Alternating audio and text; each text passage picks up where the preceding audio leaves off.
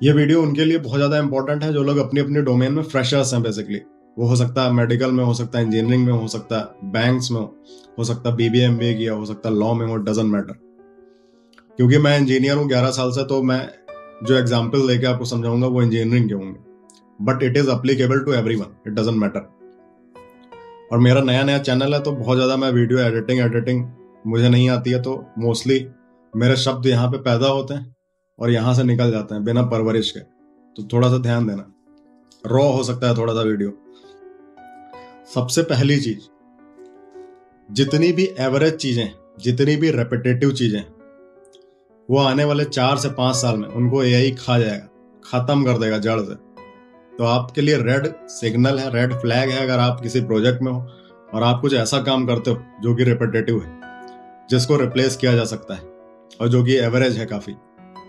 तो be careful आने वाले टाइम में उसको एआई खा जाएगा। इतने सॉफ्टवेयर अवेलेबल हैं एआई के। इतने टूल्स अवेलेबल हैं, इतने प्लगइन्स अवेलेबल हैं।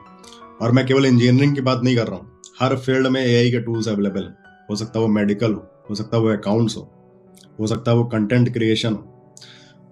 इवन एआई के एआई के लॉयर्स तक प्रिपेयर किए जा रहे हैं, जो कि केसेस लड़ेंगे। सो बी केयरफुल अब बात आती है कि भैया, अब हम करेंगे। हमारा एक साल का एक्सपीरियंस हो गया, दो साल का हो गया, या फिर हमारा प्लेसमेंट हुआ। और हम तो फ्रेशर हैं, हम क्या ही करेंगे, हम क्या ही क्रांति ला देंगे, क्या ही रिवॉल्व कर देंगे प्रोजेक्ट में। तो सही बात है। हमें फ्रेश एज ए फ्रेशर बहुत ज़्यादा क्रांति लानी भी नहीं है। लेकिन हमें क्या करना है, हमें स्पेशलाइजेशन की तरफ़ बढ़ना है आगे। हमें एक्सपर्टाइजेशन की तरफ़ बढ़ना है। हमें थोड़ा सा जिद्दी होना है, हमें थोड़ा सा ढीठ होना है। हम प्रोजेक्ट का काम करेंगे, ठीक है, अच्छी बात। लेकिन हम कुछ ऐसा काम भी आधे घंटे, पैंतालीस मिनट, एक घंटे, हम कुछ अपनी डोमेन से रिलेटेड भी काम करेंगे। भाई, कुछ तो हमें पसंद होगा ना। किसी बेसिस पे हमारा सिलेक्शन हुआ होगा। हमें कोडिंग पसंद होगी या फिर टेस्टिंग या फिर क्लाउड या फिर डेवॉप्स या फिर एआई कुछ तो पसंद होगा हमें। तो हमें डिसाइड करना है कि हमें कौन सी डोमेन सेलेक्ट करनी है। और वो हम हम ऐसी डोमेन सेलेक्ट करेंगे जिसका विजन क्लियर हो और जिसका फ्यूचर में बूम हो, जिसका अभी बूम हो। कुछ ऐसा मत सेलेक्ट करना जो जो केवल आपके प्रोजेक्ट में ही चलता है। आप उसके मास्टर भी बन गए तो इट डजेंट मैटर उसकी कहीं कोई वैल्यू नहीं रहेगी। तो कुछ ऐसा सेलेक्ट करना है जो ओपन सोर्स भी है एंटरप्राइज भी है। और उसमें एक्सपर्टाइज बनने की कोशिश करना है। और ज़्यादा से ज़्यादा एक साल लगता है, दो साल लगता है, लोग आपको पहचानने लगेंगे। लोगों को पता चलने लगेगा कि भैया इनको आता है कुछ। बहुत ज़्यादा समय नहीं लगता है। जब ऐसा होगा तो आपकी वैल्यू बढ़ेगी, आपकी इज़्ज़त बढ़ेगी, आप जब चाहोगे तो आपको छुट्टी मिलेगी जब चाहोगे तो आपको आपके अकॉर्डिंग चीज़ें होंगी। अदरवाइज़ क्या होगा? लात खाते रहोगे गालियाँ खाते रहोगे एम्बेरसिंग सिचुएशन को फेस करते ही चले जाओगे। दिल टूटेगा बहुत बार। तो, तो ये सब नहीं करना है? तो हमारा क्या सॉल्यूशन है? एक्सपर्टाइज की तरफ़ बढ़ेंगे स्पेशलाइजेशन की तरफ़ बढ़ेंगे। दूसरी चीज़ जब हम किसी प्रोजेक्ट में जाते हैं हमारा प्लेसमेंट होता है तो हमारी जवानी के भरपूर पीक होती है वो। ठीक है? तो हम बहुत जल्दी किसी से मोहब्बत कर लेते हैं।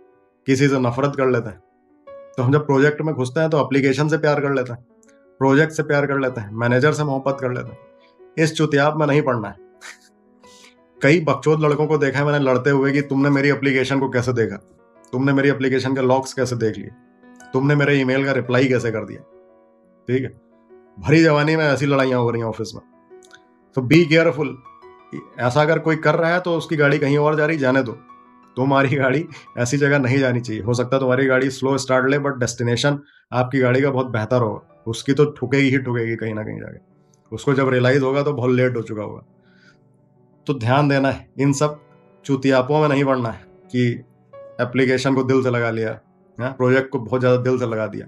ये सब वैलेंटाइन के साथ साथ चेंज होते रहेंगे। एक आएगा, दूसरा जाएगा दूसरा जाएगा, तीसरा आएगा हुँ?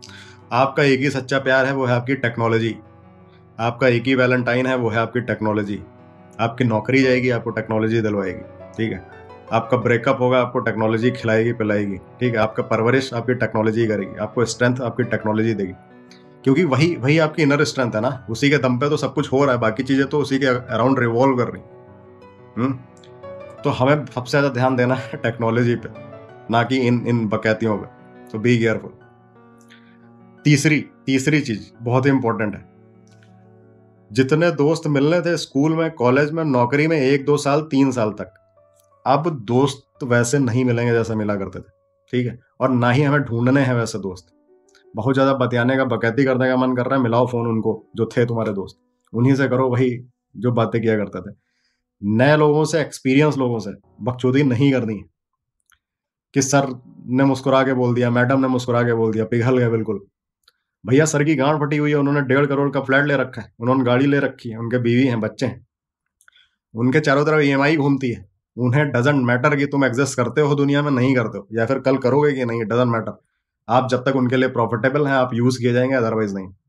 लेकिन हम बहुत ज़्यादा, जब हम नए नए होते हैं तो हम बहुत ज़्यादा सब्जेक्टिविटी के बेसिस पे काम करते हैं। हम बहुत ज़्यादा भावुक होते हैं इमोशनल होते हैं। तो हम हम, किसी ने मुस्कुरा के बात की, हमने सब कुछ उगल दिया, सारे सीक्रेट्स बता दिए। नहीं, ऐसा नहीं करना है। जो एक्सपीरियंस बंदा है, दस साल, बारह साल, वो भावुक आवुक नहीं रह गया है। वो अपने ऑब्जेक्टिविटी के बेसिस पे काम करता है। वो वाले काम करता है जो उसके लिए ज़रूरी हैं, उसके परिवार के लिए ज़रूरी है। लेकिन आप अभी भी भावुक हो तो बी प्रोफेशनल अगर कोई सीनियर मिलता है, उसके सामने फैल नहीं आना, ठीक है? ये अक्सर लोग करते हैं और ये नहीं करना है। किसी भी किसी भी कीमत पर नहीं करना और ऐसे लोगों से भी बहुत बच के रहना है, जो लोग कैसी भी सिचुएशन हो, हमेशा मुस्कुराते ही रहते हैं। हमेशा दांत दिखाते ही रहते हैं और एक्सपीरियंसड है।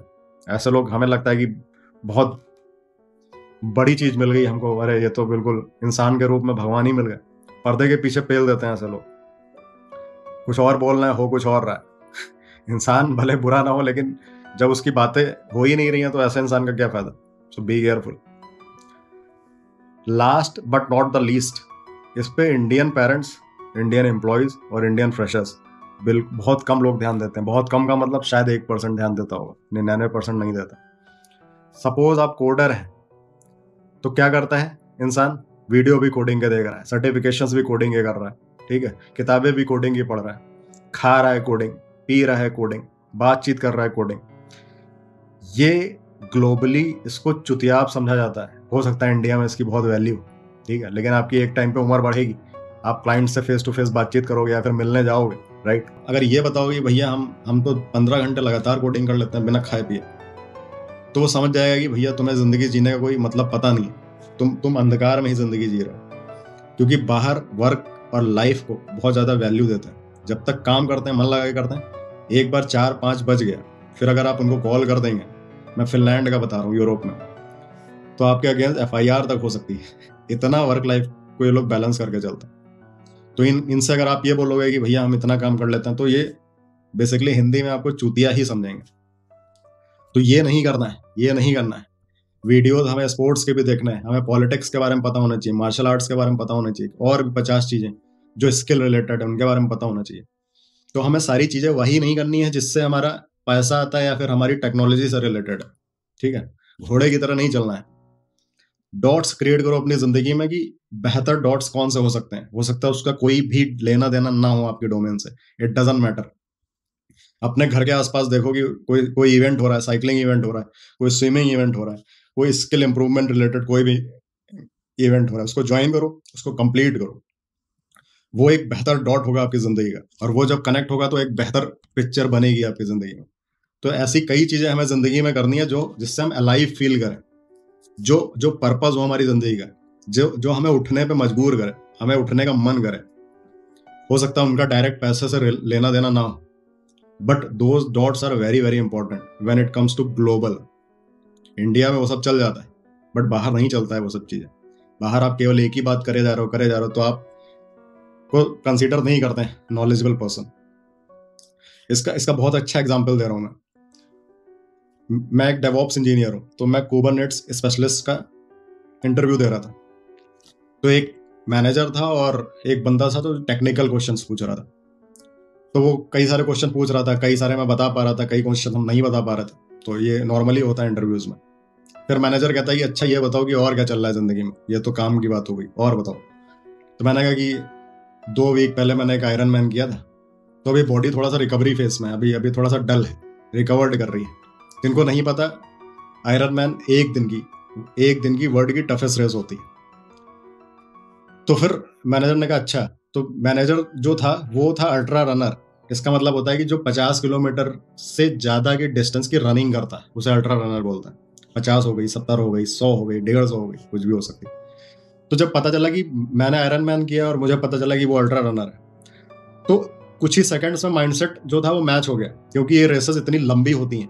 पंद्रह घंटे, बीस घंटे जंगल में दौड़ रहे हैं, पहाड़ों पर दौड़ रहे हैं, लगातार कुछ सही से खाए पिए, बिना खाए पिए। तो हमें पता है कि पंद्रह घंटे बाद कैसा फील करते हैं और वो वैसा, वो भी फील करता होगा। तो माइंडसेट मैच हो गया डॉट्स मैच हो गए। तो उसके बाद कोई टेक्निकल राउंड हुआ ही नहीं, खत्म हो गया वहीं पे कलेक्शन हो गया वहीं पे। कहाँ मेरा आयरन मैन कहाँ मेरा कोबरनेट्स बट ज़िंदगी में डॉट्स कनेक्ट होते हैं अगर आप कुछ बेहतर चीज़ें करोगे। और ये होता ही होता है सो बी केयरफुल केवल घुसे नहीं रहना एक ही चीज़ में कि हमको ये चीज़ आती है, हम दिन रात इसी को पेलते चले जाएँगे। ऐसा नहीं करना। अगर ऐसी ज़िंदगी जियोगे कि एक ही जीते ही चले गए, एक ही जैसी ज़िंदगी तो सत्तर पचहत्तर साल के बाद हमारी मौत नहीं होगी, हमारा एबॉर्शन होगा, हमारा गर्भपात होगा। क्योंकि जब बच्चा माँ के पेट में रहता है तो फिर क्या सोचता है वो कि हमें दुनिया मिल जाए, दुनिया मिल जाए, बाहर आ जाए एक बार। और हम बाहर आ गए, हम भी यही सोच रहे हैं कि दुनिया मिल जाए। एक गाड़ी है, दो हो जाए एक घर है, दो हो जाए एक प्लॉट है, तीन हो जाए। तो हमारे और बच्चे में कोई फ़र्क नहीं है ज़्यादा। हम भी कह रहे हैं, दुनिया में और चीज़ें मिल जाए वो भी कह रहा है। तो हमें जागना है अवेयर होना है, जाग के ज़िंदगी जीनी है, ठीक है? तो ये ये चीज़ें आपको कोई बताएगा नहीं।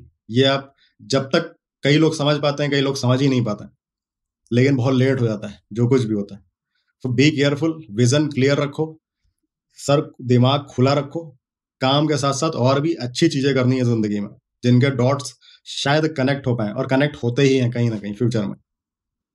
फिर और किसी चीज़ पे बातचीत करेंगे। सुना इंडिया में ये मोटिवेशन और इंस्पिरेशन वाला जो धंधा है मार्केट है, बहुत गर्म चल रहा है। तो कितना इंपॉर्टेंट है इंस्पिरेशन मोटिवेशन या फिर केवल ये सब एक शब्द ही शब्द है? पर्पस कितना इंपॉर्टेंट है? कैसे बड़े से बड़ा पर्पस हम अचीव कर सकते हैं? तो ये ये टॉपिक मेरे दिल के बहुत करीब है, इन पर डिस्कस करेंगे। तो थैंक्स थैंक्स फॉर वॉचिंग